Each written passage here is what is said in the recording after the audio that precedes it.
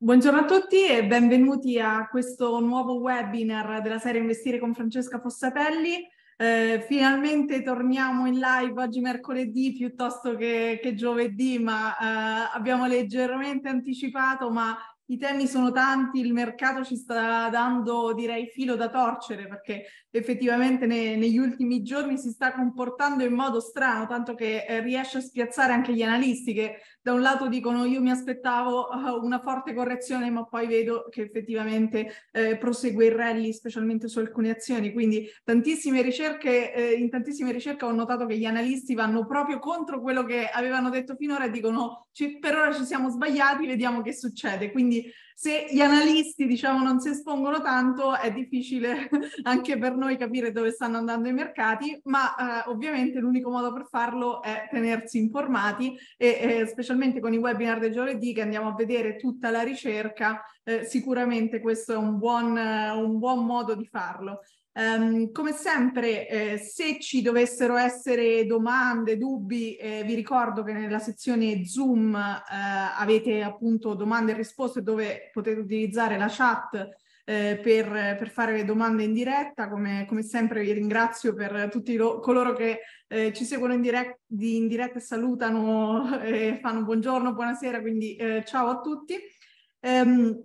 Partiamo proprio da una comunicazione di servizio, eh, l'IT di Rimini, la prossima settimana, il 15 e il 16 giugno, eh, al Pala Congressi di Rimini. Eh, si tratta dell'evento, direi, principale eh, per chi è appassionato di trading e investimenti. Per me è un evento storicamente sempre rilevante, è il primo evento in assoluto a cui ho partecipato eh, in ambito finanziario, quindi eh, effettivamente è un, un, evento che ho nel cuore. Eh, vi ricordo che l'evento è sempre completamente gratuito, eh, si, si, tiene appunto in una, una bellissima città in cui eh, si sta benissimo, che è appunto Rimini eh, e ehm, abbiamo tre conferenze e una in realtà è una novità perché eh, doveva esserci un'altra conferenza ma eh, abbiamo una conferenza che sicuramente non vorrete perdere. Quindi in primis c'è appunto la conferenza di apertura, la tecnica IT Forum, un nuovo modo di guadagnare con il trading, il 15 giugno alle ore 10.30, 11.30, in cui eh, sarò con tantissimi amici, tra cui appunto Francesco Caruso, Maurizio Mazziero eh, e così via. Um, eh, ovviamente Eugenio Sartorelli, eh, Raimondi e, e, Vito Massafra che eh, appunto ci aiuteranno a capire anche un po' il contesto economico. Sarà una conferenza in cui ogni relatore parla di una diversa set class e di come approcciarsi quest'anno, quindi secondo me anche molto, molto interessante parteciparvi. Eh, la conferenza principale che riguarda proprio l'operatività sui certificati di investimento eh, è la conferenza Cash is King, impiegare la liquidità nel breve sui certificati, limitando il rischio e massimizzando il rendimento. È la conferenza del 15 giugno, ore 15.30, 16.30 in sala Theater 3. Eh, nella conferenza andremo a vedere una cosa che non vediamo e non vedremo nei webinar, ossia come applicare eh, a livello pratico la tecnica del puntare all'autocall, quindi dell'investire nel breve periodo tenendo il più possibile la liquidità eh, investita senza tuttavia doverla mettere effettivamente eh, troppo a rischio. Eh, quindi è diciamo un, una tipologia di strategia che si applica per tutti quegli investitori che oggi magari hanno parecchia liquidità, non la vogliono mettere eh, tutta sul mercato, magari la vogliono mettere in un momento migliore, ma nel frattempo vogliono continuare a guadagnare. Magari non vogliono bloccare i fondi in un conto deposito che eh, effettivamente in Italia rende davvero poco, non li vogliono bloccare magari su un, un'obbligazione che come abbiamo visto comunque si muove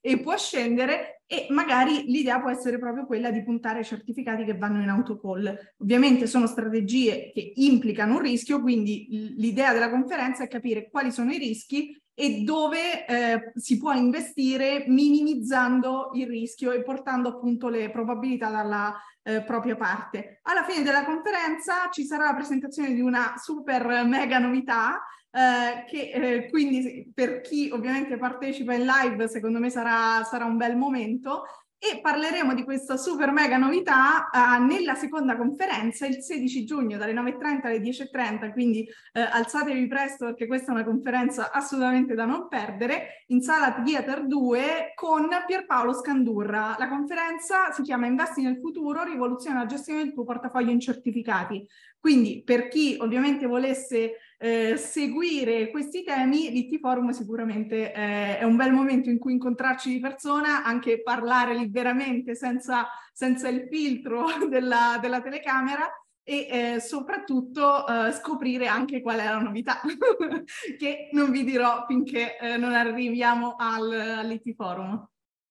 Um, vi ricordo inoltre che nel, nella nuova app Free Finance, che eh, appunto per chi non l'avesse scaricata è già disponibile sia per l'Apple Store che sul Google Play Store, eh, c'è una nuova sezione, la sezione mercati, che vedete appunto nella slide, nella parte destra della slide, eh, dove c'è una selezione di azioni eh, ordinate per paese e per settore che vi può aiutare a tenere monitorato il vostro portafoglio in certificati. Quindi invece di mettere tutte le azioni di tutti i mercati e poi effettivamente creare le watchlist, diciamo, richiede anche delle volte un po' di tempo, in questo caso si possono monitorare molto più facilmente i settori, le performance dei diversi settori e capire anche chi, chi sono i best e worst performer della giornata e cliccando sulle uh, singole eh, azioni si, si, vedono anche alcuni parametri abbastanza interessanti per investire, come il minimo e il massimo eh, di giornata, il minimo e il massimo a un anno, quindi a 52 settimane e così via. Quindi può essere una sezione ulteriormente utile per chi magari utilizza già l'app o per chi non la, non la utilizzava, eh, questa magari può essere il motivo per utilizzarla. Facciamo il punto sui mercati. Um, in particolare eh, partiamo diciamo dall'elefante nella stanza che era il tetto sul debito degli Stati Uniti, quindi abbiamo visto nelle scorse settimane che c'era questo stallo eh, sul tetto del debito che poteva portare eh, gli Stati Uniti al default, per fortuna è stato trovato l'accordo, quindi eh, la Camera dei rappresentanti e il Senato hanno approvato la legge sul tetto del debito che sospende il tetto del debito fino al primo gennaio del 2025 e eh, fondamentalmente limita, eh, elimina lo spettro del default per il resto del mandato di Biden e previene per fortuna un possibile default eh, destabilizzante per gli Stati Uniti. Eh, in realtà eh, per raggiungere questo accordo eh, ovviamente le, le, due parti hanno dovuto negoziare e quindi effettivamente ci sono stati dei vincoli di spesa in particolare su alcuni settori che potrebbero avere un impatto sull'economia anche se secondo Morgan Stanley l'impatto complessivo è trascurabile, circa un punto percentuale di rallentamento della crescita del PIL del prossimo anno, eh, anche se nello scenario eh, di Morgan Stanley si prevede una Fed non troppo rialzista, quindi eh, Morgan Stanley ci dice se la Fed non è troppo rialzista fondamentalmente l'impatto dell'accordo è bassissimo, ma se la Fed dovesse essere un pochino aggressiva, eh, più di quanto ci si aspetta attualmente, allora in quel caso effettivamente questi eh, vincoli di spesa eh, del governo degli Stati Uniti potrebbero avere un impatto forte sui mercati. Um, e ehm, una cosa interessante è che ovviamente, eh, dato che tutti si aspettavano una reazione positiva nel caso in cui si fosse eh, avuto l'accordo, la reazione positiva non c'è stata perché proprio nel momento in cui eh, l'accordo è passato, eh, diciamo, è stato approvato dalla Camera dei rappresentanti e poi dal Senato, i mercati non è che effettivamente hanno festeggiato, anzi, in realtà, eh, vedendo oh, tutti i dati che sono usciti poi successivamente, eh, hanno iniziato a pensare a quello che è il prossimo problema, cioè l'eventuale aumento dei tassi di interesse della Fed. Qui vediamo che attualmente, diciamo, si stima nella prossima riunione eh, uno stop eh, anche eh, probabilmente se temporaneo eh, al rialzo dei tassi e eh, c'è una piccola percentuale, un 25,2% di probabilità che effettivamente il rialzo invece sia eh, superiore di 25 punti base. Um,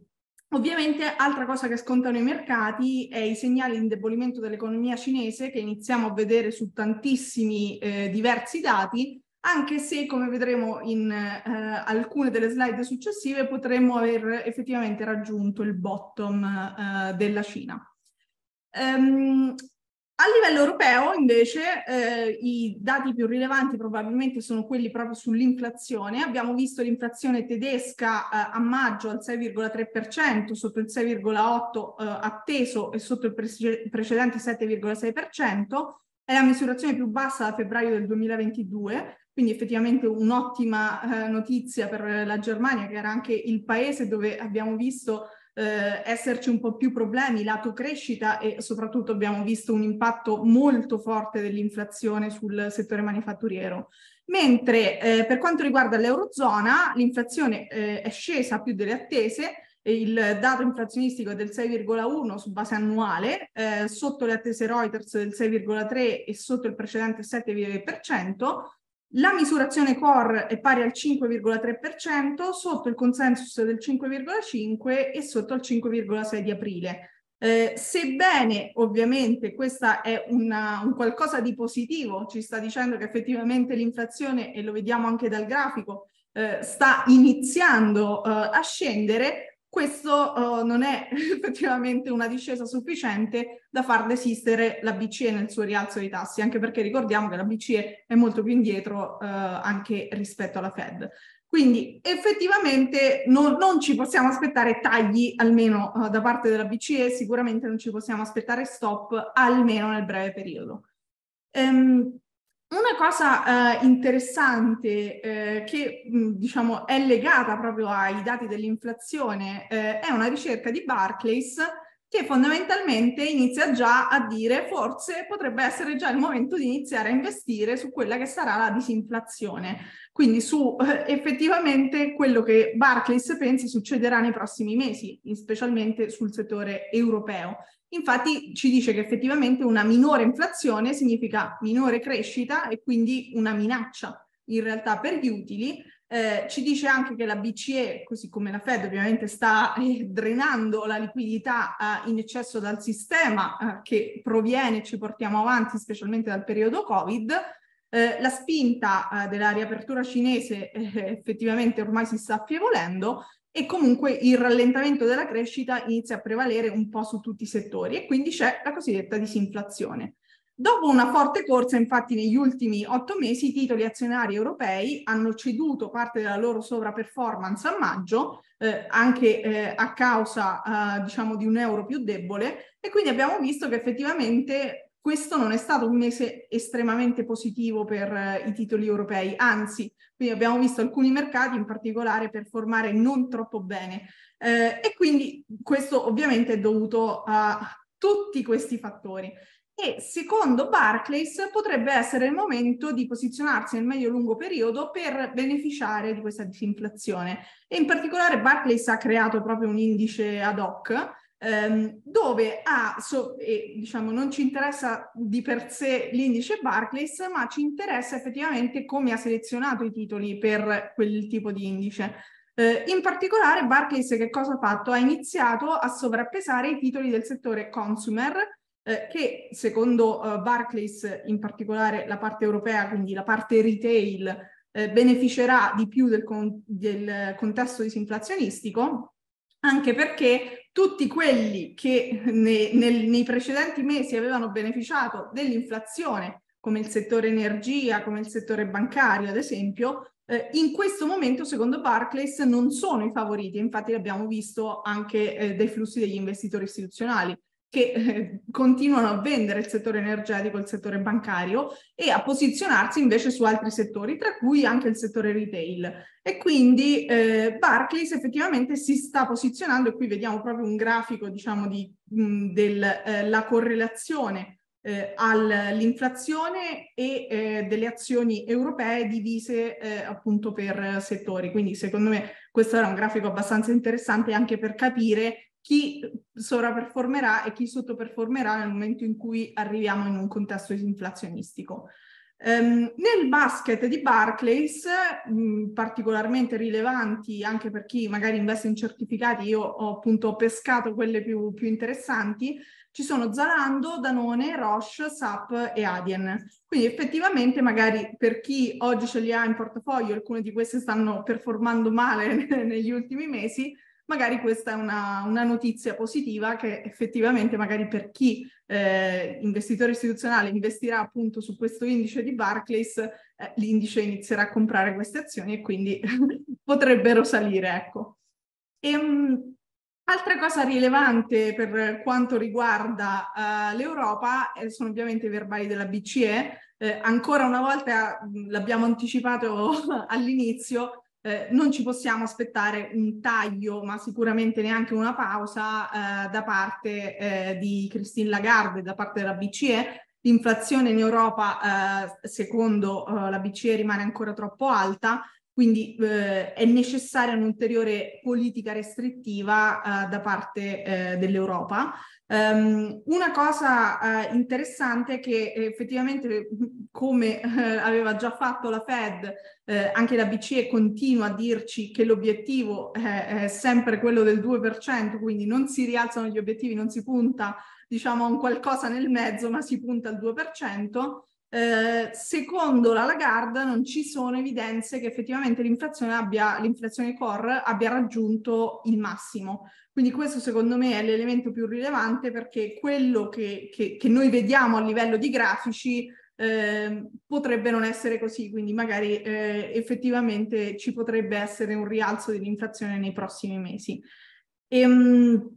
e Un'altra cosa secondo me eh, interessante sempre a livello europeo è il calo dei prestiti in Europa, in particolare eh, la crescita delle concessioni di credito è passata dal 5,2 al 4,6 e sulle famiglie dal 2,9 al 2,5. Quindi effettivamente stiamo iniziando a notare che le politiche monetarie si stanno effettivamente trasmettendo, così come anche dichiarato dalla BCE e dalla Lagarde, Um, ma uh, questo ovviamente avrà un, un, impatto sull'economia reale e ovviamente eh, infine poi anche sui mercati, generalmente i mercati anticipano, Um, e um, nel, nel, caso di, diciamo, di, di, dell'articolo avevamo evidenziato come eh, le, le, banche ombra, ossia gli intermediari finanziari non bancari, potrebbero avere un rischio un pochino più alto rispetto alle banche tradizionali, proprio perché eh, potrebbero essere impattati negativamente se i clienti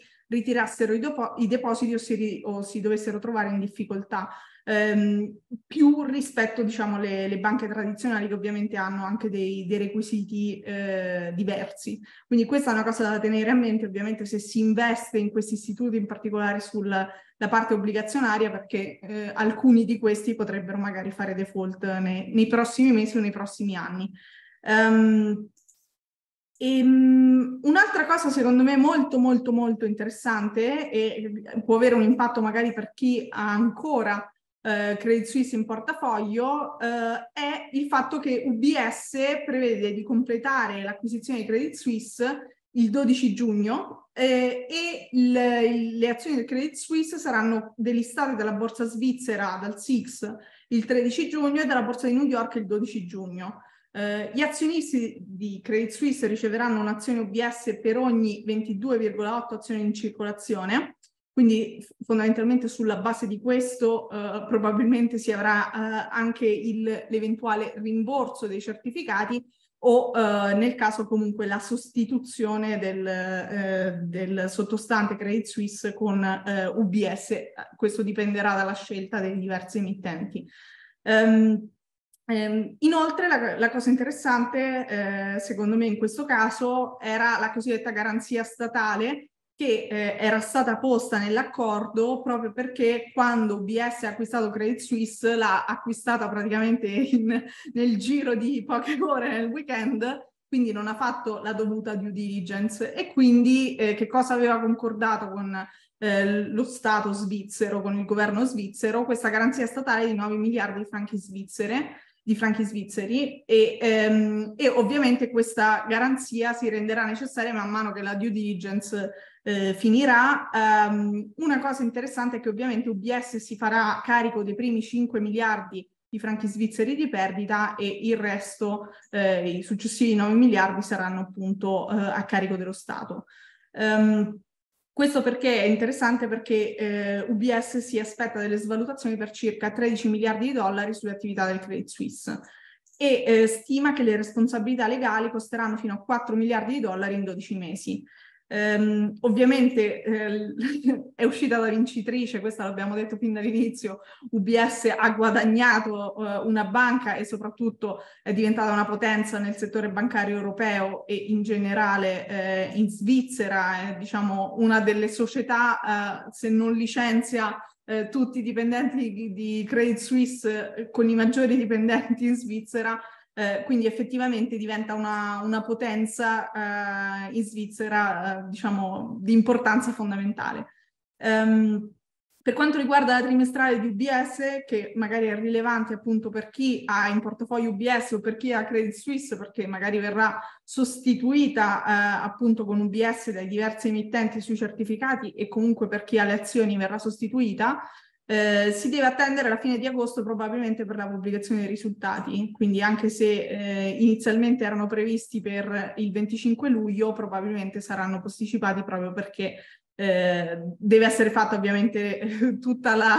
tutta la, la parte legale eh, relativa all'acquisizione che probabilmente non è ancora finita.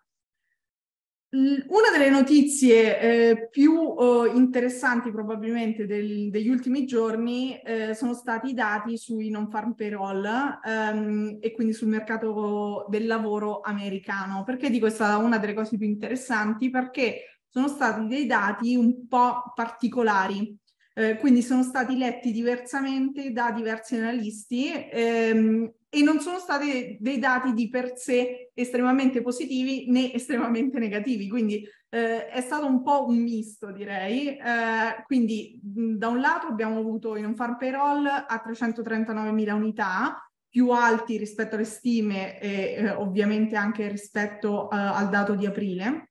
Il tasso di disoccupazione al 3,7% era atteso il 3,5%, il precedente era il 3,4%, il salario orario medio è salito del 4,3% su base annuale, eh, al di sotto del consensus e al di sotto del precedente 4,4%. Eh, qui vediamo due view, eh, diciamo, di diversi analisti, quindi in primis eh, la view di Bank of America, in cui vediamo che effettivamente eh, Bank of America ci dice, innanzitutto legge i dati eh, in un modo e come vediamo eh, dopo, eh, diciamo, vediamo una view di un analista, non dico opposta, però comunque diversa rispetto a quella di Bank of America. Quindi Bank of America ci dice innanzitutto che le buste paga non agricole hanno superato tutte le aspettative, sono aumentate di 339.000 unità, è il quattordicesimo mese in cui le buste paga superano le aspettative e le revisioni a rialzo eh, hanno ovviamente un, hanno reso il rapporto ancora più, il report ancora più impressionante in termini di crescita di posti di lavoro. Eh, mentre da un lato quindi abbiamo una crescita dell'occupazione forte, dall'altro abbiamo un dato, mh, diciamo, un quadro più complesso del mercato del lavoro perché la retribuzione oraria media per tutti i dipendenti è aumentata dello 0,3% mese su mese, 4,3% anno su anno,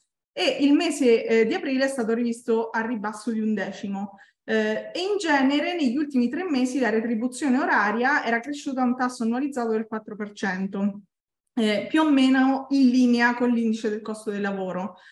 Sebbene questa non è una misura della crescita dei salari, eh, questo suggerisce, secondo Bank of America, un rallentamento delle pressioni, delle pressioni inflazionistiche sui salari rispetto a un anno fa. Perché? Perché fondamentalmente ci dice che eh, se eh, diciamo, ci, diciamo, fondamentalmente le aziende riducono uh, le ore lavorate, eh, aumentano le assunzioni, ma questo indica una sorta di accumulo di manodopera. Quindi effettivamente le imprese prima di ridurre i lavoratori iniziano a ridurre le ore lavorate. Quindi questo potrebbe essere il primo sentore che ci dice effettivamente il mercato del lavoro non è più così forte.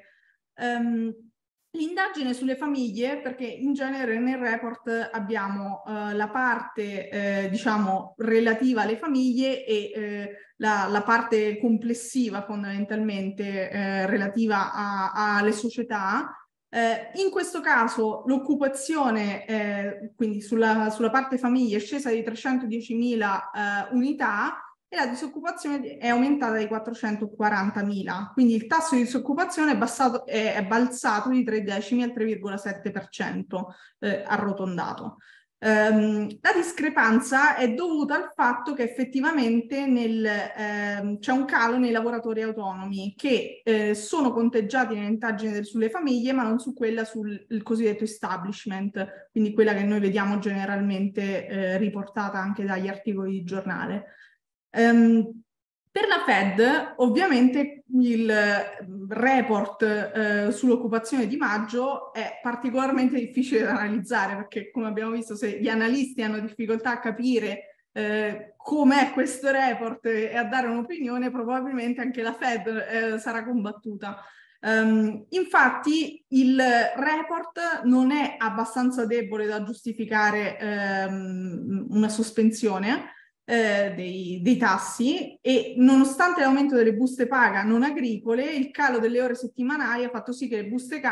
paga aggregate siano aumentate solo dello 0,3% rispetto al mese, al mese precedente. Powell, tuttavia, quello che guarda è il tasso di disoccupazione Pertanto l'aumento di 0,3 punti percentuali potrebbe rafforzare l'ipotesi di saltare un rialzo a giugno, ma questo non impedisce effettivamente che non ci siano rialzi nel, nel corso dell'anno. Quindi il, il, report fondamentalmente ci dice ok per ora, eh, ma non è detto che eh, si stoppi il rialzo dei tassi, eh, per, per tradurlo in termini semplici. Um, Ovviamente che cosa dobbiamo guardare qui? Eh, il, rapporto su, il report sull'inflazione del 13 giugno, quindi il 13 giugno probabilmente eh, abbiamo già un'idea eh, di, anche un, un, pochino più precisa di que quello che potrebbe essere il percorso della Fed. E, ehm, per quanto riguarda invece ehm, Goldman Sachs, quindi l'avvio di Goldman Sachs, ehm, la crescita sequenziale dei salari è la misura eh, più importante per determinare cosa farà la Fed, quindi se eh, la Fed vuole continuare o meno con questo rialzo dei tassi, specialmente diciamo su quest'anno, perché poi qui è dove si gioca la partita.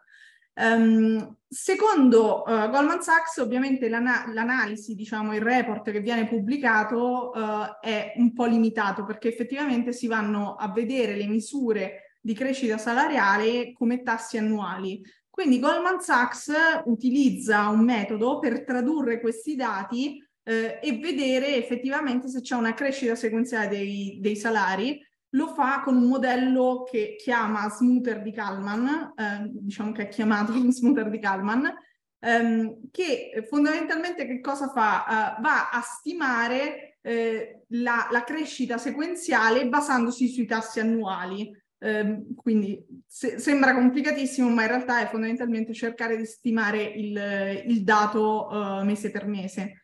I risultati di questa analisi, che quindi non andiamo a vedere esattamente come ha calcolato il tutto, ci fidiamo che sia stato fatto bene, il risultato dell'analisi indica che la crescita dei salari negli Stati Uniti sta rallentando dall'inizio del 2022 e c'è un ulteriore rallentamento al ritmo annualizzato del 4,5% eh, previsto nel secondo trimestre del 2023 di contro però le pressioni sal salariali sequenziali nell'area dell'euro sono rimaste ferme fino al primo trimestre, al 5,4% annualizzato e quindi c'è la necessità di ulteriori aumenti di tassi per frenare la crescita dei salari. Quindi mentre negli Stati Uniti eh, abbiamo un rallentamento eh, diciamo sequenziale, eh, un raffreddamento se vogliamo del mercato del lavoro, in Europa eh, questo è diverso. Quindi Goldman Sachs ci dice negli Stati Uniti probabilmente eh, abbiamo quasi finito con il rialzo dei tassi eh, e comunque nel breve non, eh, non, verranno aumentati, lato europeo invece è, è giusto che continuino ad essere aumentati.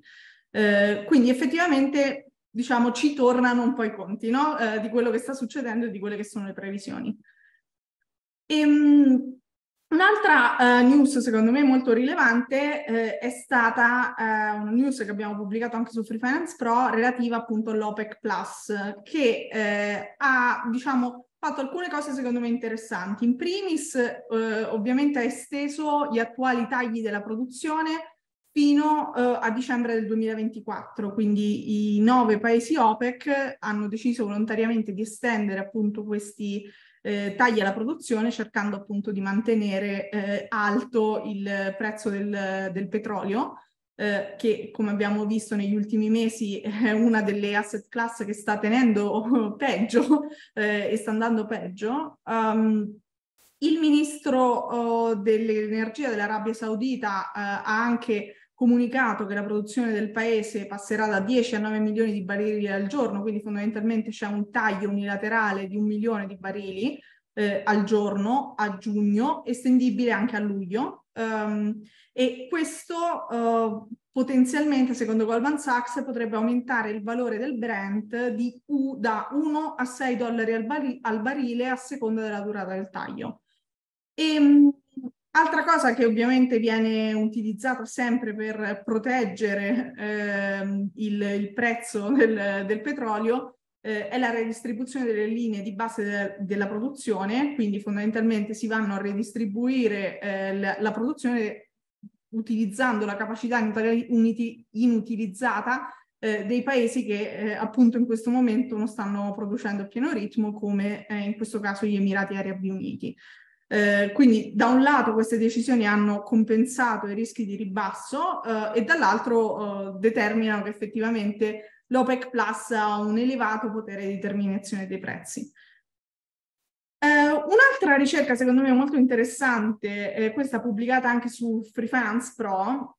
eh, è praticamente una, ehm, diciamo, una view sul fatto che l'oro, che oggi è molto costoso, che abbiamo visto scendere nelle ultime settimane, quindi eh, effettivamente abbiamo visto che tanti analisti pensavano che l'oro fosse troppo costoso. Eh, dall'altro lato um, c'è un po' una view secondo me eh, rilevante eh, che ci dice che effettivamente le banche centrali stanno manifestando un enorme interesse eh, sull'oro eh, proprio per diversificare le loro partecipazioni dagli asset in dollari eh, e quindi potrebbero essere proprio le banche centrali a guidare nel medio-lungo periodo eh, il rialzo effettivamente del, dell'oro. Eh, quindi, mh, diciamo, effettivamente, dato che molti paesi stanno mettendo in discussione le loro riserve in dollari, l'oro potrebbe essere uno di quegli asset che nel medio-lungo periodo comunque potrebbe performare anche abbastanza bene.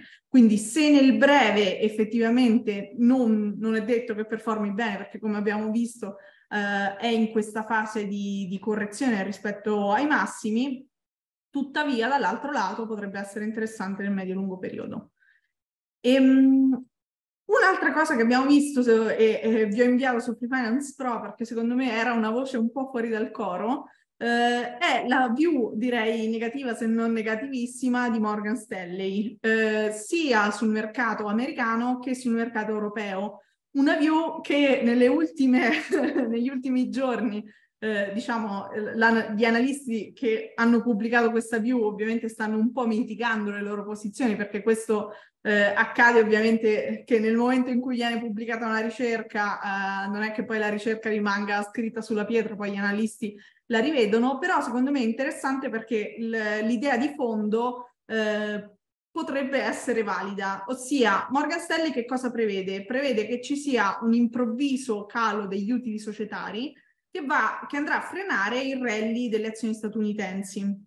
E quindi dice piuttosto che investire sugli USA eh, vado ad investire da qualche altra parte, quindi Giappone, Taiwan, Corea del Sud, ma soprattutto vado a sovrappesare alcune asset class più stabili come treasury eh, a lunga scadenza, vado a sovrappesare il dollaro e questa, ehm, diciamo, il long dollaro è probabilmente uno dei trade più condivisi eh, in questo momento dalla maggior parte delle ricerche. Eh, vado a sovrappesare ovviamente i titoli difensivi, quindi tutto quello che non è ciclico. E, e, e fin qui, diciamo, eh, penso che tutti gli analisti sono d'accordo, anche se, come abbiamo visto nelle ultime settimane, c'è qualche ricerca che va a favore eh, dei titoli eh, ciclici. E, ehm, In particolare Morgan Stanley che cosa vede? Vede una discesa degli utili per azione dell'S&P 500 del 16%, quindi effettivamente una, una view molto molto ribassista, anche un po' in contrasto con eh, le previsioni della maggior parte eh, de, delle banche, tra cui Goldman Sachs e in generale un po' uh, di tutta Wall Street. E, ehm, per quanto riguarda l'Europa, uh, la view secondo me è ancora più negativa perché prevede una discesa del 10% quest'estate a causa del rallentamento della crescita economica, della riduzione della liquidità del mercato, eh, ma poi prevede nel medio-lungo periodo un rimbalzo verso eh, diciamo la fine dell'anno. Quindi nei, nei, nei primi mesi eh, avremo una, una, un azionariato europeo che eh, tenderà ad essere un pochino più debole, ma poi eh, anche dovuto questo alla riduzione in generale della liquidità del mercato, eh, sia eh, con eh, appunto lo, l, il tetto del debito che effettivamente eh, un po' va a pesare, sia eh, dal, dalla politica restrittiva di Fed e BCE che continuano a drenare la liquidità del mercato. Um, e, um, una cosa interessante che ovviamente ci dice Morgan Stanley è che effettivamente tendono ad essere più rialzisti sull'Europa rispetto agli Stati Uniti, proprio perché eh, con eh, diciamo la, uh, attualmente diciamo anche le azioni eh, europee tendono ad avere dei multipli un, un pochino più interessanti, dei prezzi eh, ancora più interessanti e un'economia che non è eh, diciamo in, in, recessione o comunque su, sull'orlo di una potente recessione come pensa Morgan Stanley eh, che è quella degli Stati Uniti. Anche se come abbiamo visto la recessione eh, almeno per alcuni analisti è un qualcosa da mettere in discussione. Anche qui eh, da, da, da, vedere che cosa succederà eh, ne, nelle prossime settimane con i prossimi dati. Um, una notizia secondo me molto molto rilevante um, perché va a cambiare un po' l'assetto uh, in generale del, delle criptovalute, ma anche di tutte le società che operano con criptovalute, è eh, le, fondamentalmente la, l'accusa eh, di eh, SEC, della SEC, quindi la Security and Exchange Commission, quindi l'autorità uh, uh, che è posta appunto nel controllare tutte le società che operano, società finanziarie che operano negli Stati Uniti, eh, contro Binance e contro Coinbase. Quindi in primis la SEC accusa Binance e in particolare la Binance US, quindi l'affiliata eh, americana di Binance, eh, di aver fatto una serie di cose, eh, quindi il wash trading, quindi gonfiare in modo fraudol- fraudolento i volumi di scambio sulla piattaforma tramite una società di trading eh, svizzera, eh, di aver consentito ad alcune eh, società eh, di operare ehm, su Binance illegalmente e di aver mescolato gli asset dei clienti tra entità statunitensi e non statunitensi eh, di avere delle molteplici negoziazioni che non sono state registrate e eh, avere schemi di investimento, diciamo, uh, illegali, quindi uh, che eludevano la normativa antiriciclaggio, di aver frodato gli investitori sulla capacità di osservare e prevenire il trading mani- manipolativo su Binance US, ma soprattutto anche di non essere indipendente e quindi di essere sotto il controllo effettivamente di, di ZAO e quindi effettivamente di Binance e di non essere un'entità separata.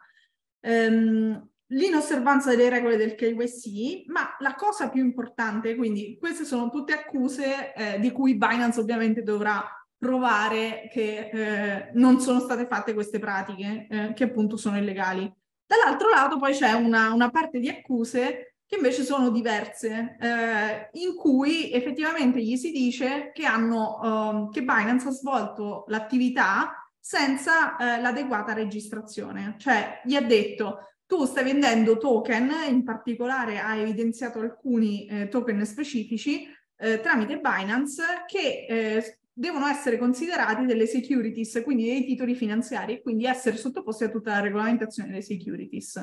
Um, questo che cosa fa per la SEC? eh, questo allarga effettivamente lo spettro della SEC, cioè se fosse così la SEC effettivamente non controlla più solo i titoli, eh, diciamo, eh, veri e propri, ma inizia a controllare anche dei token eh, e questo porterebbe la sua sfera di comando sui 115 miliardi di dollari di criptovalute. E inoltre la SEC ha detto pure tu hai operato come borsa, come broker dealer, agenzia di compensazione senza adeguata registrazione. Quindi sta mettendo fondamentalmente in discussione eh, il modello di business, cioè sta dicendo chi opera con i token, chi fa queste cose, diciamo, con le criptovalute, è come se fosse una borsa, quindi deve essere regolata come se fosse una borsa. Quindi sta fondamentalmente cercando di regolare ex post le criptovalute. Eh, cioè effettivamente è un qualcosa di molto potente perché è, è difficile pensare a una cosa del genere, eh, diciamo, da parte della SEC. Eh, quindi qui arriviamo poi anche al punto, però prima vediamo anche di che cosa sta accusata Coinbase, perché eh, eh, ieri fondamentalmente è arrivata l'accusa anche a Coinbase che il mercato eh, dava praticamente per scontata, eh, in cui eh, la SEC gli dice tu stai operando eh, illegalmente come broker ed exchange senza esserti registrata l'autorità di regolamentazione. Ora, che, che impatto può avere questo eh, su Coinbase, sul settore e in generale eh, appunto sulle cripto? Eh, da un lato ovviamente la SEC sta dando, uh, sta dicendo fondamentalmente uh, ai diversi player attenzione che se voi operate con le criptovalute e non registrate tutto come securities, io probabilmente vi, eh, diciamo, vi porto in tribunale. Quindi in primis sta facendo un po' un'opera di... Um, eh, se vogliamo, di spaventare eventuali nuovi player che vogliono entrare nel mercato. Eh, dall'altro lato ha attaccato le due più grandi, quindi Binance e Coinbase, e soprattutto eh, nonostante, in particolare Coinbase, cioè quindi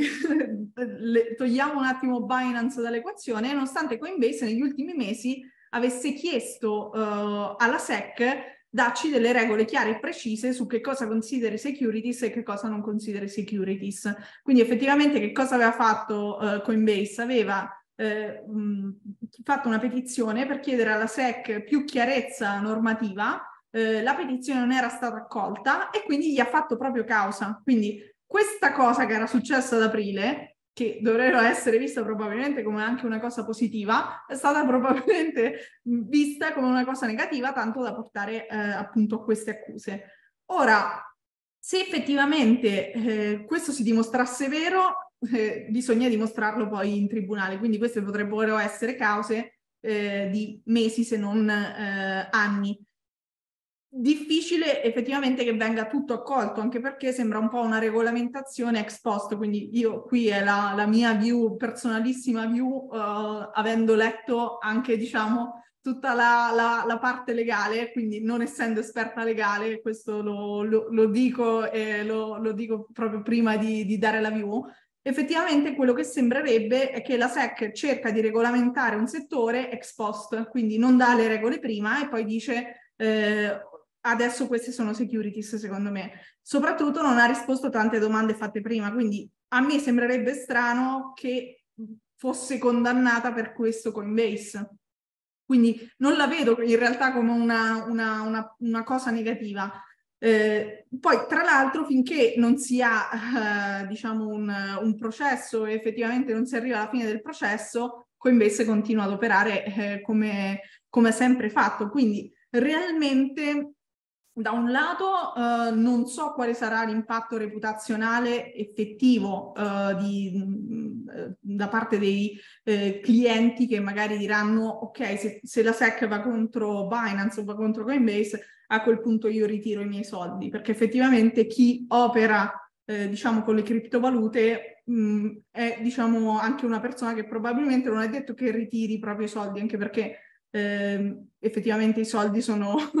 sono, sempre sulla piattaforma e è un po' difficile pensare a, a un, uh, un, ritiro magari molto grande di, di, queste somme, però ovviamente questo non è detto. Dall'altro lato, e quindi l'impatto reputazionale è una cosa che va considerata, io personalmente non penso che sia uh, molto forte. Dall'altro lato è da capire effettivamente sussiste, eh, cioè questa accusa effettivamente ha un senso, quindi può vincere la SEC in tutto questo. Un po' difficile pensare che possa vincere la SEC, anche perché sembra più un'azione volta a um, spaventare magari dei, dei piccoli player che effettivamente non rispettano la regolamentazione e un'azione un po' volta a screditare il mondo delle cripto, che è una cosa che eh, la SEC appunto ha chiamato, penso, circa sulle 70 volte eh, Coinbase eh, a, a, parlare, a spiegare effettivamente quello che, che, che, che fa eh, il suo business solo nell'ultimo anno. Quindi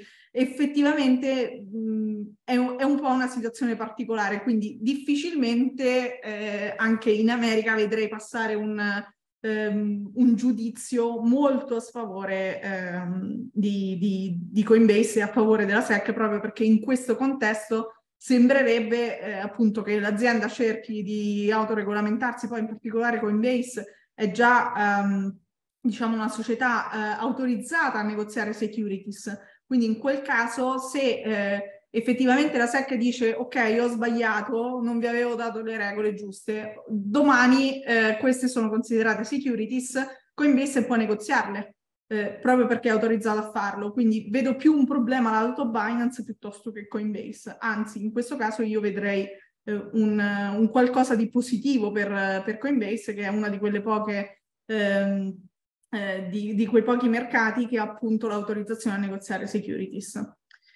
Eh, come abbiamo visto appunto negli ultimi giorni la, la performance è stata negativa, eh, ma mh, da inizio anno comunque Coinbase ha segnato il suo più 53%, eh, quindi non, eh, non, ci possiamo lamentare, lo stesso vale per il Bitcoin, quindi questa le, leggera diciamo, discesa comunque non impatta le performance da inizio anno. Cosa interessante su Coinbase martedì ehm, si è registrato un incremento anche abbastanza forte eh, del, diciamo dei, dei, dei flussi e degli acquisti da parte di ARC. Quindi eh, Katie Woods effettivamente ha visto questa come una, un, una buy opportunity. Ovviamente non è detto che sia, sia corretta, però mh, sembra anche un, un qualcosa di interessante per, per, chi magari voleva puntare a Coinbase. Questo è un momento sicuramente di, di crisi eh, e di ribassi della società. Ehm, altra notizia che abbiamo visto, secondo me molto interessante, è eh, quella eh, del lancio del VR di Apple, eh, non tanto a livello tecnologico, sicuramente tutti abbiamo visto i video, quindi sarà una cosa eh, anche interessante per chi non l'avesse fatto, magari eh, andateveli a vedere perché effettivamente sembra un qualcosa di molto molto avanzato, molto futuristico. Eh, la cosa interessante invece a livello finanziario, che è quello che ci importa a noi, eh, è che effettivamente il, il prezzo e probabilmente alcune caratteristiche non sono state lette benissimo dal mercato. Infatti, dopo il lancio, eh, Apple effettivamente è scesa dopo eh, essere salita pre-lancio. Eh, perché? Perché probabilmente diciamo, non, è, non, sono piaciute alcune cose come la batteria esterna, ma soprattutto il prezzo eh, che è eh, 3.499 dollari, quindi lo rende effettivamente un prodotto mh, di lusso, se non lussissimo, eh, per la tipologia di clienti standard di Apple.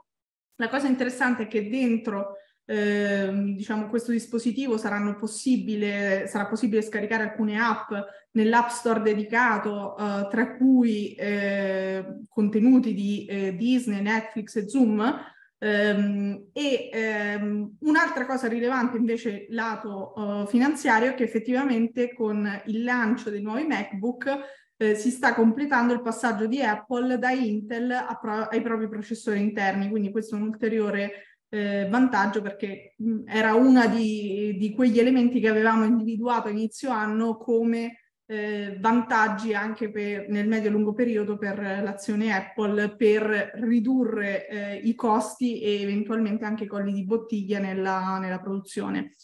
Apple prevede di vendere dell'Apple Vision Pro, quindi del, del, nuovo headset di realtà virtuale e aumentata, quindi realtà mista, circa 900.000 unità nel primo anno, e,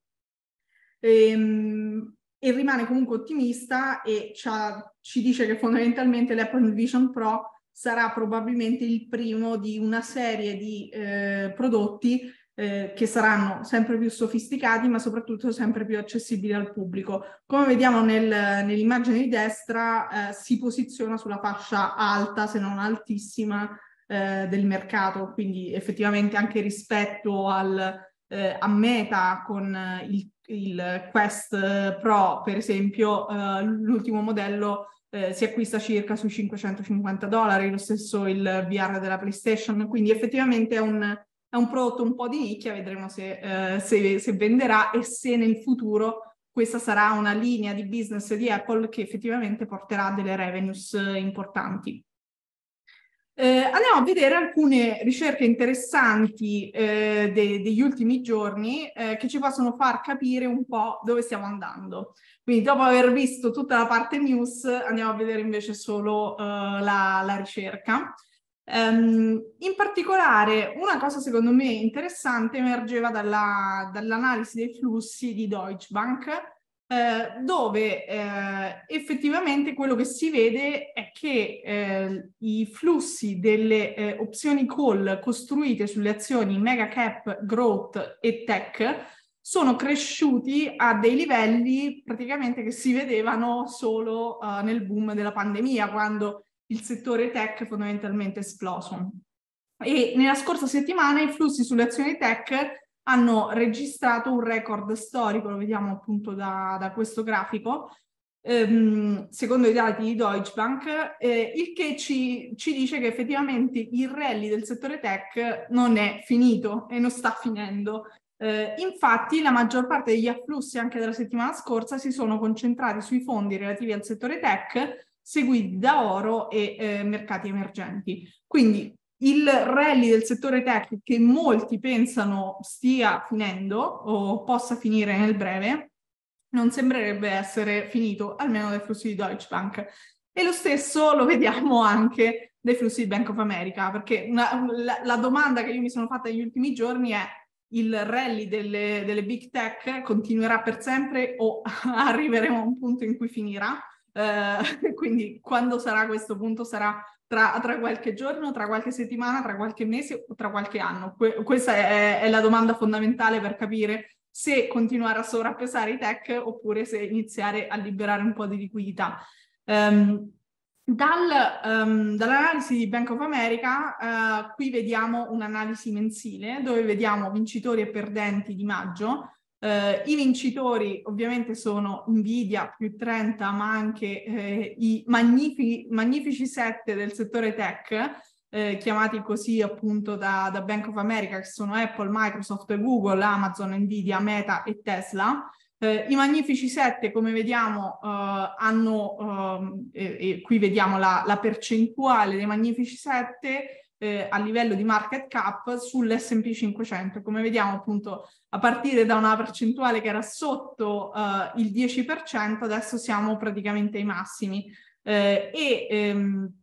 eh, se, se, andiamo a vedere il contributo di questi magnifici sette al rendimento, eh, il, il, con l'S&P 500 in rialzo del 10% eh, quest'anno, quindi all'inizio anno, 8,8% di questo rialzo eh, è dovuto al rialzo dei magnifici 7 del settore tech,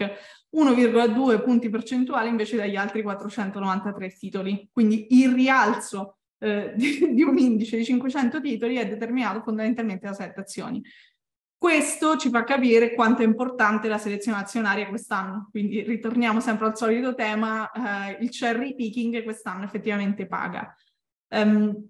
L'asset under management anche eh, che gira eh, da parte degli investitori più capitalizzati sui magnifici 7 è salito del 44% eh, year to date. Eh, c'è stato un piccolo take profit a maggio mh, mm, del circa il 2%, ma i magnifici 7 rappresentano ancora, eh, i magnifici 7 tech rappresentano ancora il 31% eh, del, degli asset under management azionari dei portafogli degli investitori più capitalizzati, mentre eh, contro il 28% dell'S&P 500. Quindi effettivamente gli investitori più capitalizzati tendono a detenere, continuano a detenere questa, questa tipologia di azioni, anche se come abbiamo visto c'è stato un leggero take profit eh, a maggio.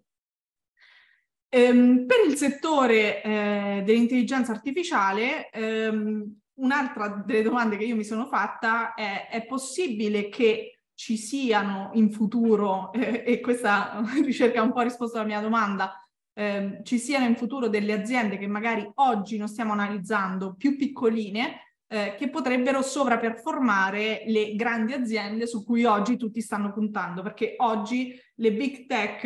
eh, che diciamo sono legate al mondo dell'intelligenza artificiale sono quelle che stanno trainando il mercato. Ci può essere una piccola azienda che sovraperformerà tutti e che effettivamente è in grado di sviluppare un qualcosa che gli altri non sono in grado di sviluppare? Um, la risposta, secondo Goldman, è no, uh, e anche secondo altre ricerche, quindi anche la, la, risposta che mi sono data io è probabilmente no. Eh, perché? Perché ci sono delle barriere all'ingresso enormi come proprietà intellettuale, capitale necessario anche per sviluppare e continuare, diciamo, a, a eh, generare l'AI e eh, relazioni industriali consolidate, perché effettivamente l'AI eh, per essere sviluppata ha bisogno di più player che si mettono d'accordo per, eh, nel progetto fondamentalmente. Quindi senza um, queste relazioni industriali effettivamente è anche più difficile, questo è almeno quello che, che ho letto nelle diverse ricerche. L'investimento che le aziende devono fare per avere successo nell'intelligenza artificiale è enorme e ci sono effettivamente solo poche aziende che possono permettersi questo investimento e quindi eh, dobbiamo pensare un po' come nel cloud eh, dove ci sono dei piccoli, pochi eh, attori dominanti come Google, Microsoft e Amazon perché hanno effettivamente il capitale ed è chiesto un elevato uso di capitale per lo sviluppo. Quindi non è sbagliato oggi dire punto sulle big cap eh, e mi dimentico fondamentalmente dei piccoli player e così come non è sbagliato eh, magari puntare su degli indici o degli ETF che hanno solo queste big tech perché effettivamente queste sono quelle che poi trai- trainano eh, l'intelligenza artificiale e che beneficiano dell'intelligenza artificiale e che probabilmente acquisiranno quei player più piccoli che da soli appunto non ce la possono fare proprio perché c'è questa fortissima barriera all'ingresso. Una cosa molto interessante è che se avete pensato di investire nelle stock di intelligenza artificiale non siete stati gli unici, questo è il boom delle ricerche ehm, dei termini buy AI stocks e AI stocks, quindi compro, uh, azione, compro azioni di intelligenza artificiale o uh, azioni dell'intelligenza artificiale su Google. Come vediamo uh, il, il trend effettivamente in forte rialzo, quindi è difficile anche pensare che ci possa essere una correzione su queste azioni, almeno nel breve, proprio perché, come avevamo detto nella, nella scorsa uh, puntata, il rally di questa azione potrebbe essere guidato nella seconda fase proprio da, dagli investitori retail, che poi sono quelli che fondamentalmente cercano questa cosa su Google. E, ehm, anche eh, a livello di flussi, eh, e qui vediamo appunto il prime book di ehm, Goldman Sachs, eh, per la quarta settimana consecutiva abbiamo acquisti sul settore infotech eh, che è il più acquistato a livello eh, globale, e eh, sono stati flussi più consistenti degli ultimi cinque mesi e si, colla- si collocano al 92 percentile sugli ultimi cinque anni, quindi effettivamente continuano ad esserci gli afflussi sul settore tech. Eh, una ricerca, in particolare qui è un grafico più che una ricerca, non ho riportato tantissimi dettagli, ma ehm, effettivamente era interessante, Um, Goldman Sachs pensa che in questo momento uh, le ADR cinesi uh, abbiano toccato il bottom, ce l'ha detto, ve, ve lo dico, uh, se non erro era il 2 di, di, giugno, quindi ce l'ha detto praticamente al vero bottom. Um, e, e questo perché? Perché effettivamente il primo e il 2 giugno sono stati i giorni con più forte movimento da gennaio di quest'anno e lì Goldman Sachs ha detto probabilmente qui siamo proprio sul, sul bottom e per ora sembra vero. Eh, quindi effettivamente potrebbero, potrebbero, iniziare a ripartire. Quindi per chi oggi ce l'ha in portafoglio, che magari negli ultimi giorni stava valutando, è il momento di venderle e prendere la perdita, attenzione perché magari è, questo è il momento in cui ripartono. Um, Altra cosa interessante, eh, una survey investitori Goldman Sachs che eh, fondamentalmente ci dice innanzitutto che e ci ribadisce che gli investitori non vogliono rischio e continuano a, a non volere eh, aumentare il proprio livello di rischio eh, in portafoglio, ma ehm, ci dice anche che eh, il, secondo la maggior parte degli investitori il, l'indice eh, S&P 500 è quello che performerà meglio a giugno e in effetti eh, diciamo questo potrebbe magari eh, essere vero quindi mh, nonostante diciamo finora eh, abbiamo visto un forte sell delle azioni statunitensi potrebbe iniziare a tornare eh, magari l'interesse anche grazie eh, ovviamente al, all'intelligenza artificiale e a tutto il settore tech. Ehm, eh, una cosa invece contraria a quello che abbiamo visto finora, che sembrava più un, un qualcosa che ci facesse pensare a un forte eh, bull market,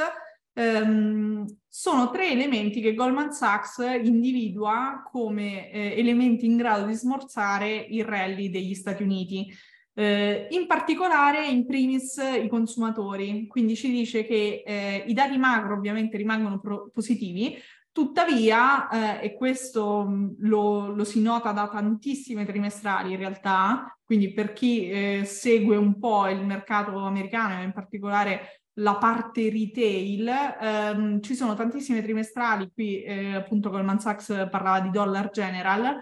in cui eh, si vede che ci sono dei problemi, tra virgolette, eh, lato consumatori, cioè i consumatori effettivamente non sono messi più così bene come eh, l'anno scorso. Eh, c'è un, un, indebolimento, un, indebolimento, fondamentalmente della domanda, soprattutto nella fascia più bassa dei consumatori.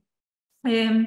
per esempio sulla trimestrale Dollar General eh, si è visto che i clienti si affidano maggiormente alle banche alimentari e alle carte di credito e fanno più acquisti vicino al giorno di paga. Quindi quello che è eh, diciamo i eh, risparmi messi da parte che finora magari sono stati utilizzati proprio per contrastare l'inflazione, magari in questo momento stanno finendo o stanno andando verso la fine. Quindi effettivamente eh, questo è un elemento che va contro eh, il rally de- del mercato. Il commercial real estate, che eh, come sappiamo già in una fase di crisi, ma soprattutto eh, è una crisi lenta perché ehm, il real estate commerciale, eh, diciamo gli edifici eh, commerciali eh, ci mettono ad andare in crisi perché i contratti di locazione sono lunghi, il debito che li finanzia può essere eh, ovviamente lungo Ehm, e quindi questo può creare, diciamo, la, la prossima scossa ribassista eh, al mercato. E inoltre la Fed, quindi Goldman Sachs ci dice tutti ci aspettiamo una Fed più tranquilla nei prossimi mesi, ma non è detto, quindi ci dice ci, c'è la pausa, eh, probabilmente è giusto che ci sia la pausa eh, nella riunione di giugno, ma non è detto che nei prossimi mesi e nei prossimi anni eh, si continui con questa linea eh, soft e quindi magari eh, continuano eh, i rialzi. Quindi questa è una cosa da, da considerare. E um, se la Fed dovesse continuare a rialzare i tassi, Goldman Sachs crede che ci sarà un ribasso delle azioni concentrato sugli Stati Uniti, ma allo stesso tempo un rafforzamento del dollaro e un ribasso dell'oro. Il dollaro, quindi, diciamo, come abbiamo visto anche in, in diverse ricerche, ma vi dico proprio perché ne, ne ho letto tantissimo, eh, è probabilmente uno di quegli asset su cui puntare. Quindi magari per chi oggi aveva, come me, chiuso della, una parte, eh, diciamo, di esposizione in dollari e vuole ripristinarla, questo probabilmente è un buon momento anche per esempio per comprare delle obbligazioni in dollari eh, dato che i tassi effettivamente sono alti, eh, molto più alti rispetto magari le, le, le, stesse obbligazioni delle stesse società in euro e il dollaro atteso il rialzo eh, sarebbe eh, appunto un, un, doppio guadagno. Um, un'altra cosa molto molto interessante secondo me eh, era questa ricerca di Goldman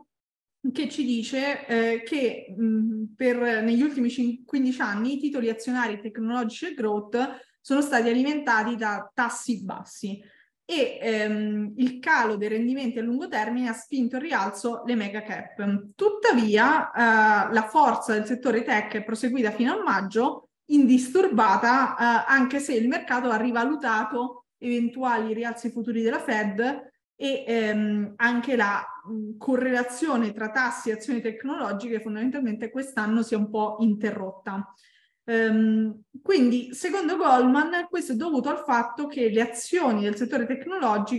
del tecnologico stanno uh, segnalando due cose. In primis, una cosa che ovviamente avevamo notato già uh, uh, l'anno scorso, in un mondo in cui la crescita è bassa, in cui non c'è crescita o siamo in una recessione, eh, gli azionisti effettivamente vogliono comprare delle azioni in crescita. Quindi il mercato paga per un multiplo più alto per la crescita secolare. Inoltre, concentrarsi sull'inflazione passata e a pronti significherebbe definire la politica o comunque investire guardando nello specchietto retrovisore, cioè guardando al passato. Eh, quindi i dati a pronti in particolare suggeriscono che eh, l'inflazione statunitense è già rientrata nell'intervallo eh, di riferimento della Fed. Eh, e qui appunto vediamo appunto un, un grafico mh, mm, della cosiddetta trueflation ehm, che ci dimostra che effettivamente stiamo andando verso eh, questo target del 2%. Quindi Goldman Sachs ci dice, que- que- questi secondo me sono due punti estremamente importanti, cioè questa probabilmente è la cosa che eh, da investitori ci dobbiamo ricordare nei prossimi mesi, quindi in un mondo in cui non c'è la crescita, ricercare la crescita, e soprattutto mai concentrarsi sui dati passati, ma sempre guardare i dati forward, dati futuri soprattutto lato inflazione, perché poi questo determina la politica della Fed che determina un po' l'andamento dei mercati. Quindi eh, tendenzialmente sono due eh, cose che ci possiamo stampare e tenere, tenere a mente per almeno i, i, i, prossimi mesi, se non anni. Altra cosa che, che, che diciamo eh, emerge dalla stessa ricerca eh, è fondamentalmente a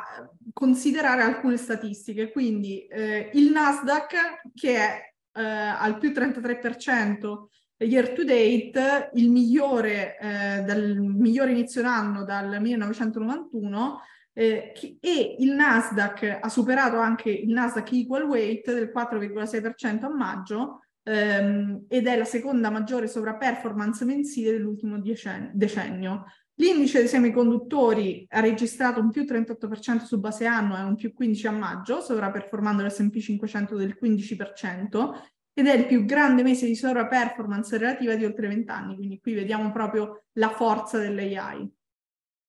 Cosa super interessante anche a livello statistico, secondo me, è che dopo la trimestrale Nvidia ha scambiato 58 miliardi di dollari di valore nozionale che significa superare il valore nozionale totale scambiato dei due ETF più scambiati al mondo.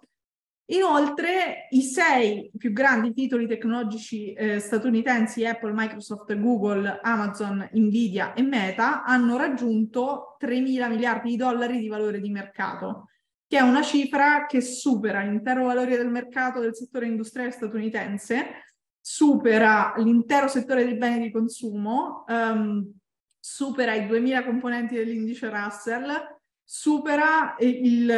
il capitale di mercato dei settori eh, del, dei materials, del settore immobiliare e dei servizi pubblici degli Stati Uniti, tutto messo insieme, ed è eh, appena inferiore del valore di mercato dell'Eurostox 50. Quindi effettivamente ci dimostra che questi sei grandi player sono in grado di muovere il mercato e probabilmente lo saranno sempre di più nei, nei prossimi anni. A livello di singoli, di singoli titoli, ovviamente eh, è abbastanza interessante notare le performance, quelle un pochino più alte, eh, in particolare sul settore dei semiconduttori, da notare Nvidia, AMD e Marvel, con delle forti sovraperformance rispetto al passato. E eh, un'altra cosa interessante da notare è che la sovraperformance delle big cap non è solo un fenomeno statunitense, ma è un fenomeno anche europeo, eh, anche se si verifica in misura minore. Um, in particolare, se si va a vedere il, um, le cosiddette granolas, che sono le mega cap con margini elevati e bilanci forti del eh, mercato europeo, queste rappresentano meno del 25% della capitalizzazione di mercato, ma hanno contribuito per oltre il 35% eh, al rendimento eh, year to date. Quindi effettivamente eh, sia negli Stati Uniti che in Europa le big cap iniziano ad essere eh, quelle che muovono eh, i mercati e che quindi muovono anche eh, gli indici. Ora la domanda che si fa Goldman è, ora che abbiamo visto tutto questo, quindi abbiamo visto che bisogna puntare alla crescita, che le big tech regolano il mercato, che ehm,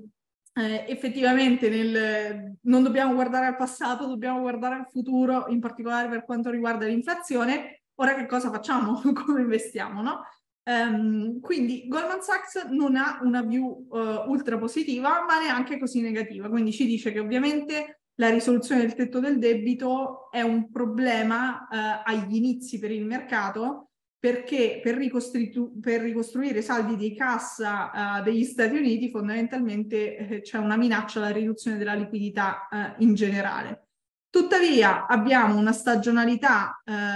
in più abbiamo una stagionalità che non è dalla nostra parte, in particolare sull'S&P 500, qui eh, appunto vediamo uh, che eh, giugno non è un mese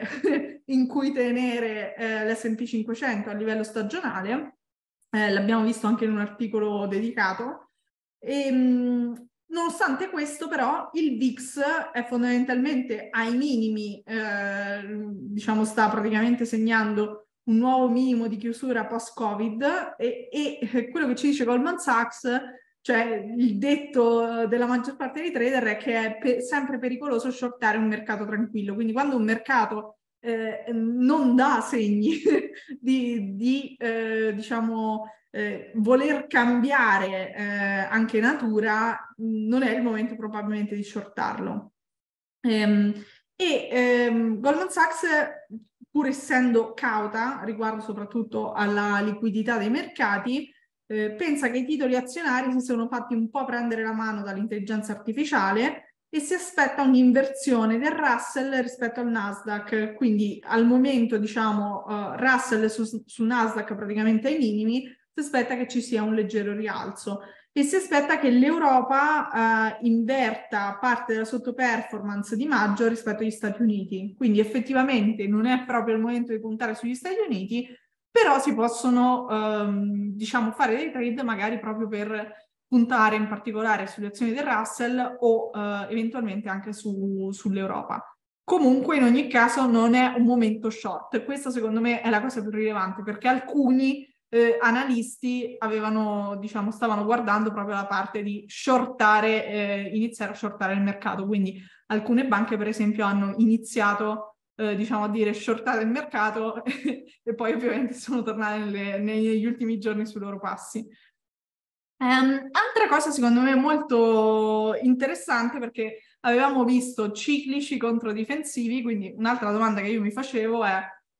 perché tutti continuano a investire sui titoli difensivi se effettivamente, come abbiamo visto, tutti cercano eh, crescita e magari poi eh, i titoli ciclici potrebbero andare meglio in, un, una fase di mercato uh, rialzista. Eh, in realtà, eh, come vediamo eh, anche dai flussi degli hedge fund, ehm, non è proprio il momento dei ciclici che continuano eh, ad essere venduti eh, per l'ottavo mese consecutivo, forti vendite allo scoperto in particolare sul settore finanziario ed energetico, eh, che sono compensati da acquisti nei settori industriali, ma dei materiali e immobiliari, piccoli acquisti, il settore finanziario statunitense è stato venduto per il quinto mese consecutivo, ehm, in particolare in sette delle ultime otto settimane, eh, e ha rappresentato tre dei cinque settori più venduti a maggio. E il rapporto long short è praticamente ai minimi quinquennali per quanto riguarda i flussi degli hedge fund um, e gli hedge fund continuano a acquistare titoli difensivi eh, in particolare healthcare e consumer staples, eh, che, ha, che, supera anche le vendite nette del settore delle utilities. Quindi effettivamente gli hedge fund continuano a dirci non è il momento dei ciclici eh, con, con, i loro flussi. E, ehm, una eh, invece analisi molto interessante, quindi oggi non vediamo altre azioni, ma ne vediamo solo una, perché secondo me era estremamente interessante da eh, considerare anche per chi magari eh, vuole investire eh, sull'intelligenza artificiale, probabilmente mh, Google è un'ottima azione su cui puntare. Eh, perché dico questo? Uh, perché ehm, eh, Google ha praticamente eh, rilasciato ehm, un, un, nuovo strumento uh, per fare pubblicità basato sull'intelligenza artificiale eh, che ha presentato durante il Google Marketing Live. Eh, fondamentalmente l'intelligenza artificiale viene utilizzata eh, sia eh, per semplificare il percorso del cliente eh, su più canali, quindi c'è una conversazione con Google Ads eh, che è alimentata proprio da un livello linguistico perfezionato sui dati dell'annuncio, e questo semplifica il processo di acquisto di annunci e di ricerca eh, di come eh, effettivamente strutturare l'annuncio, assiste eh, tutti gli sponsor che vogliono fare annunci nel lancio delle campagne, può generare parole chiavi, titoli, descrizioni, immagini e tutti altri elementi basati eh, sul sito web dell'azienda. Quindi effettivamente mh, elimina alcuni intermediari, eh, elimina anche tutta la parte personale, eh, tra virgolette, che, eh, che, aveva Google, quindi del personale che effettivamente parlava con l'azienda che voleva fare pubblicità, è tutto gestito uh, tecnologicamente dall'AI. In più l'AI può creare la creatività, quindi può creare l'immagine, il video, um, il contenuto che poi verrà sponsorizzato e promosso uh, da Google. Quindi eh, questo eh, permette di creare anche più versioni del contenuto che eh, permette di aumentare le impression e i click che ovviamente vengono remunerati. Quindi questo è un, uno degli elementi che può creare un incremento delle revenues importante. Secondo Morgan Stanley, eh, Morgan, Stanley, Morgan Stanley in particolare si aspetta un aumento delle revenues del 14% e ci dice se anche raddoppiassero i costi di gestione delle nuove funzioni, eh, a livello di utili vedremo un più 5%, quindi effettivamente è abbastanza interessante. Inoltre ehm, la performance stessa, perché effettivamente quello che può fare l'intelligenza artificiale è anche monitorare come stanno uh, performando ehm, diciamo le, le, le, diverse campagne e capire quali sono le campagne più funzionanti per quella specifica azienda. Quindi ehm, questa secondo me è un'ulteriore prova del fatto che gli inserzionisti fondamentalmente potrebbero iniziare a spendere sempre di più perché le inserzioni saranno sempre più performanti. Um, secondo Morgan Stanley, eh, ovviamente questi eh, strumenti pubblicitari nuovi basati sull'intelligenza artificiale eh, rappresentano dei, dei, miglioramenti significativi che miglioreranno ovviamente la resa creativa, eh, ovviamente permetteranno una maggiore conversione porteranno a una crescita pluriannale sostenuta degli annunci. E eh, secondo Morgan Stanley, quindi Apple, eh, scusate, Google è diventato un overweight con target a 140 dollari eh, che significa un più 10% circa dai, dai prezzi attuali. Um, la media eh, è 130,89 dollari eh, di target price degli analisti e eh, il 92% degli analisti eh, la considera, eh, considera, Google overweight. Quindi secondo me è un'azione abbastanza interessante. Andiamo a vedere le ultime operazioni del portafoglio. Um, in particolare parto proprio da, dall'ultima perché eh, c'è stata solo un'operazione dall'ultimo webinar che è eh, questa. Eh, praticamente ho acquistato il primo certificato su indici da quando eh, ho pubblicato la, eh, il portafoglio eh, obiettivo resilienza e cavalcare la volatilità, non avevo mai acquistato indici ehm, perché? Perché in realtà personalmente non, non sono una fan dei certificati su indici perché perché hanno un rendimento eh, generalmente molto basso e soprattutto eh, diciamo non, non, mi soddisfano come connubio rischio-rendimento, quindi spesso eh, trovo magari delle obbligazioni con un rendimento simile ehm, e magari leggermente più basso, ma che non hanno appunto il rischio mercato eh, che invece è presente su, sui certificati su indici. Invece in questo caso, secondo me, il connubio rischio-rendimento era molto interessante, quindi ho acquistato eh, è un certificato di Marex ehm, con barriera premio capitale al 60% sul Nasdaq 100, S&P 500, FTSE MIB e Eurostox Bank che paga un 2,75 a trimestre, quindi 11% annualizzato. Ai valori attuali, considerando che è tutto sopra la pari, va in autocall il 31 agosto, rimborsa 1027,5 euro quindi rendimento superiore all'11% perché eh, oramai diciamo sono, è passata una settimana circa da, dagli strike.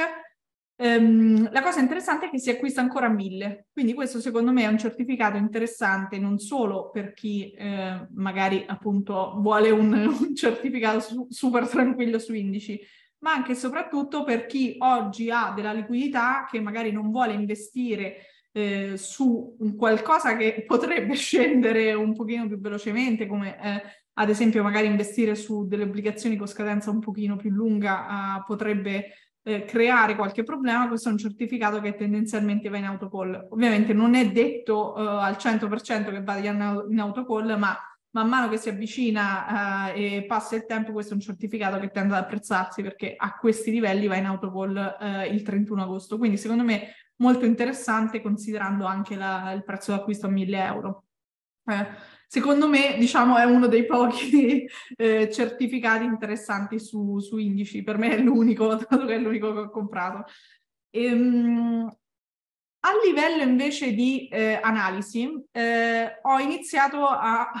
eh, fare alcune slide che secondo me possono essere utili per, per chi ovviamente segue il portafoglio, ehm, che proprio per analizzare alcune posizioni che eh, ho in portafoglio che sono particolarmente, diciamo, eh, potrebbero essere preoccupanti oppure no, dipende ovviamente da, dalla view sul sottostante, ma che hanno un buffer barriera ridotto. In particolare ho tre posizioni sul portafoglio obiettivo resilienza, perché sul portafoglio cavalcare la volatilità la gestione del buffer a barriera è un po' diversa, ma sul portafoglio obiettivo resilienza, eh, diciamo, sto più attenta ehm, sul buffer barriera per un semplice fatto perché quando il rendimento effettivamente è basso, eh, violare la barriera va, va a pesare eh, sul, sul, prezzo del, del, certificato. Quindi in questo caso eh, bisogna starci un pochino più attenti anche perché sono posizioni un pochino più importanti. Quindi è per questo che dedico il focus a queste tre posizioni e non ad altre. E, ehm, in particolare eh, ne ho parlato anche sul gruppo mm, Telegram eh, Obiettivo Resilienza, le due posizioni su Capri ehm, effettivamente sono abbastanza vicine alla barriera, quindi la, la prima è quella più, più vicina al 6%, eh, l'altra al 15%.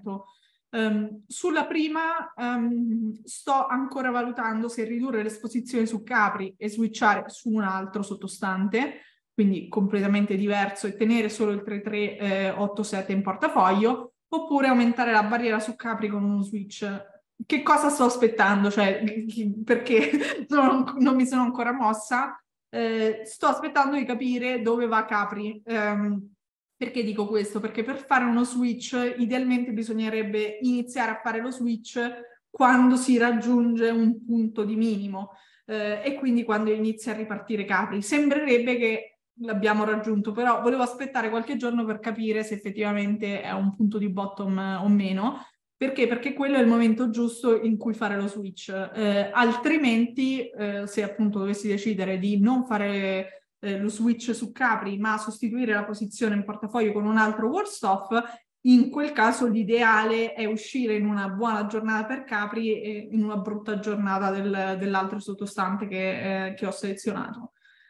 Ehm, perché le, diciamo, le due posizioni, secondo me, eh, perché diciamo, al, al, momento ha senso tenere il 3387? Perché la scadenza non è così lontana, comunque il buffer a barriera, eh, buffer a barriera è buono, non è, è, enorme, ma comunque non è, eh, non è il 6% per esempio del 171. Eh, e secondo me effettivamente Capri è, è veramente minimi, quindi Considerando diciamo, tutti questi parametri, sul 3387 sono più propensa a tenerlo in portafoglio, il 171 invece sto ancora in valutazione. Eh, altro certificato, invece questa è una, una, vecchia colonna portante del portafoglio, l'ultima rimasta, eh, di quando eh, appunto ho abbassato notevolmente il rischio del portafoglio, è il T30 su Estée Lauder, Seaboys Health, Berkshire Hathaway e Lockheed Martin, anche qui abbiamo un buffer a barriera del 6%. Qui sto valutando uno switch. Non sono ancora certa, qui la, la posizione scade a gennaio del 2024,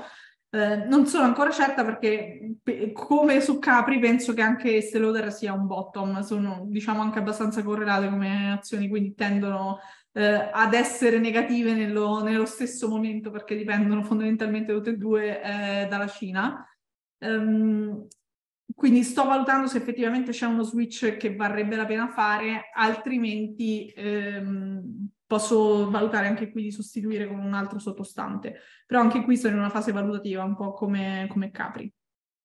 Vediamo invece eh, le posizioni vicine alla scadenza all'autocall, perché nei prossimi giorni, nelle prossime settimane ci saranno scadenze autocall, quindi ehm, è importante, diciamo, prepararsi prima. Eh, oggi,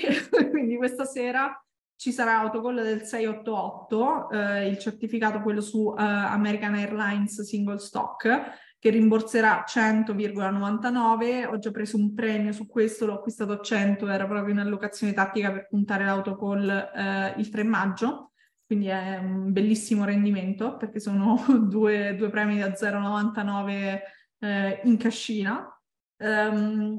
in un mese. E, um, c'è invece eh, la scadenza, quella, eh, una scadenza negativa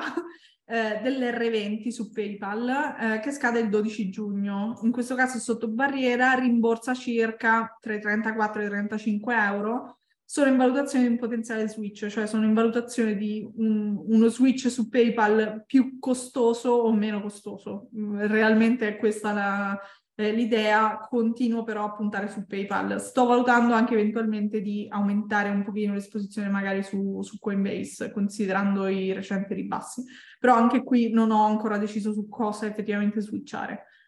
Um, potrebbe andare in autocall um, il 312, che è la posizione più sovrappesata in portafoglio. Ho fatto tre ingressi 10 marzo, 27 marzo e 11 aprile. Mm, il secondo, il miglior ingresso in assoluto a, 20, a 96,7 euro. Um, potrebbe essere richiamato come no, uh, quindi da, dal prezzo uh, che aveva prima di andare in bidolli sembrava uh, più o meno scontato il richiamo, ma vediamo ovviamente nei, nei prossimi giorni, il 12 giugno. Il 142 invece è, l'intesa Unicredit con barriera 40%, questo sicuramente va in autocall il 22 giugno, eh, era un'operazione in allocazione tattica aperta il 16 marzo a 99,63, rimborserà 100,85, se non erro ha pagato eh, 4 premi, ma forse ne ha pagati 3, quindi no, non mi ricordo, ma comunque ha pagato un po' di premi. E, ehm, Altro certificato che andrà in autocall il 14 luglio è il KQ5, questo comprato in allocazione ehm, tattica, ma in realtà fondamentalmente per portarlo all'autocall sovrappesando il settore travel, eh, comprato a 100,2, ve l'ho segnato anche eh, quando era andato a 100 qualche giorno fa, ehm, l'ho aperto appunto il 17 maggio, rimborserà 105 euro in totale, eh, deve pagare due premi.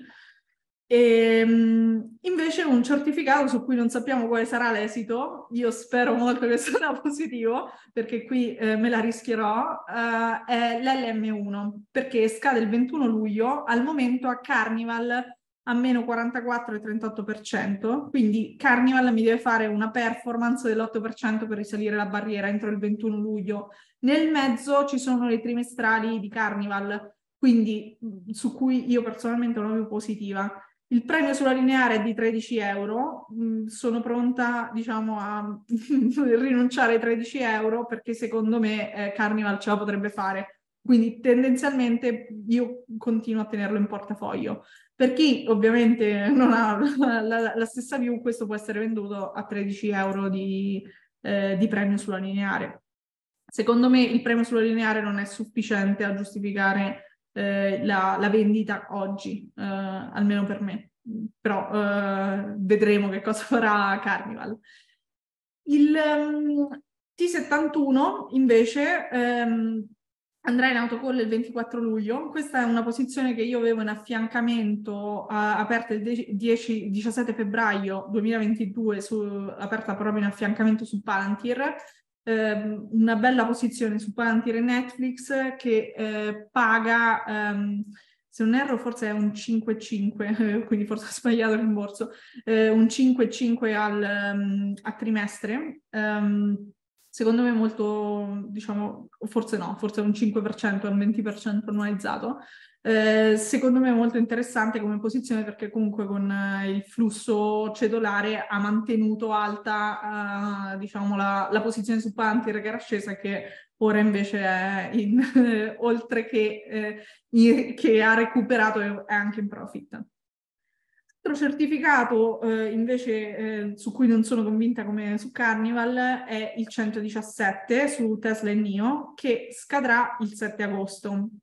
deve fare una performance per risalire la barriera del 28%. Eh, perché non ha senso assolutamente venderlo oggi? Perché il premio sulla lineare è di 5 euro, quindi è un premio sulla lineare talmente basso che oggi non ha senso venderlo, anche perché ci sono eh, i premi fissi che, che, si vanno a prendere. Eh, è un prodotto che ha pagato 30 euro di premi, quindi effettivamente eh, diciamo un, un minimo di buffer ce l'ha, Ehm, vediamo come va Nio, quindi su, su, questo valuto se portarlo a scadenza oppure no, al momento non ha senso toccarlo per, proprio perché il premio sulla lineare è bassissimo. Eh, scade il 21 agosto l'FW1 che è eh, sulle linee aeree americane, eh, ha un buffer da barriera del 38%, scade e rimborsa 102,58 euro vecchissima posizione aperta prima del, del, lancio del portafoglio, quindi prima che il portafoglio diventasse pubblico e eh, l'ho eh, comprato anche a 94,80 euro il 29 eh, novembre del 2021. Altro certificato che invece eh, andrà in autocall il 5 settembre è il 949 che rimborserà 101,875 ehm, eh, che ho acquistato a marzo del 2022 è il certificato quello sul, sul Paint. Eh, al momento, tra l'altro, è in bidolli eh, molto sotto la pari, ma eh, in realtà è in, è in diciamo, zona autocall. Um, il 614 eh, scade a ottobre ehm, del, eh, di quest'anno rimborserà in totale eh, 108,35 euro e anche questo acquistato il 2 novembre del 2022 e eh, l'RN8 eh, scade il 3 novembre, eh, buffer a barriera del 27%, rimborserà 103,95. Questo era il certificato, quello su Meta, eh, che ho ottenuto in portafoglio due posizioni. Ehm, ho pensato di rivenderlo, ma considerando anche il buffer a barriera così alto e che sta andando praticamente in scadenza, lo, lo porto a scadenza. Um, abbiamo tre posizioni invece che hanno un possibile recupero di premi in memoria, uh, in particolare il primo è un possibile recupero perché appunto manca una, una leggera performance, potrebbe pagare 6 premi in memoria l'8 giugno um, in totale sono 6,8 euro, è una piccolissima posizione in portafoglio, però effettivamente Ubisoft sta eh, facendo un bel rally negli ultimi giorni e ha recuperato velocemente, ehm, sta recuperando diciamo la barriera.